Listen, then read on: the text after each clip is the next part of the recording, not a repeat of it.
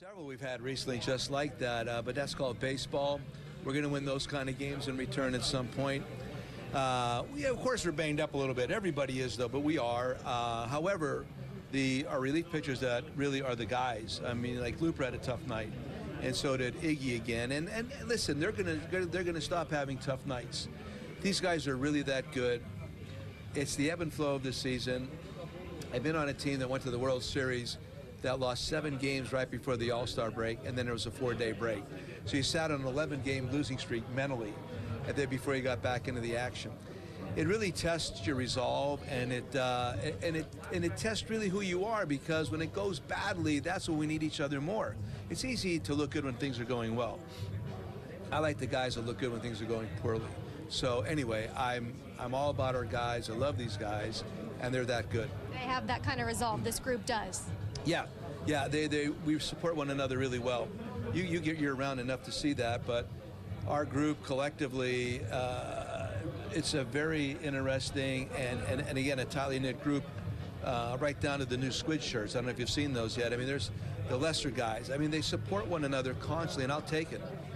You mentioned the guys that are banged up. Obviously, Shohei got the night off last night. We saw him late in the game. How's the back feeling? And is this something you guys want to monitor? Maybe give him a few more days sprinkled in here and there? It's just like I said before, it's my conversation with him. If he needs a day, he'll get it. If he tells me he's fine, he's fine. Um, I really like to listen to my veteran players. Um, there's times you want to intervene. Sometimes it's just obvious. I need to intervene.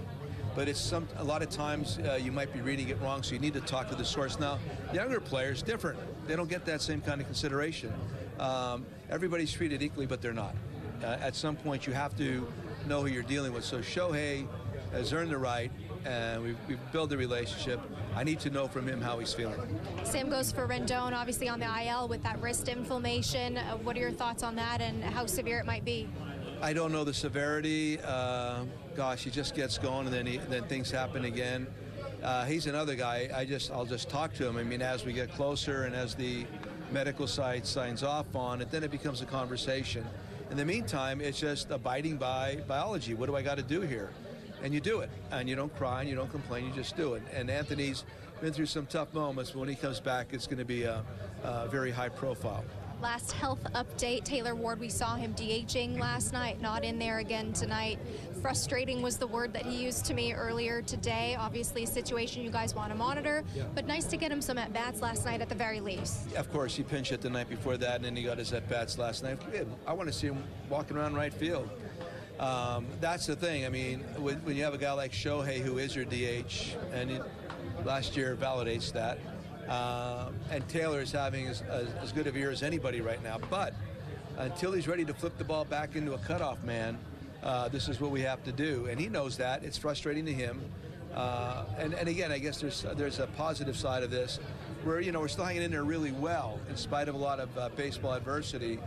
Uh, this group's going to come together at the right time uh, again, and I think a big part of it is one of our main strengths is how we are collectively.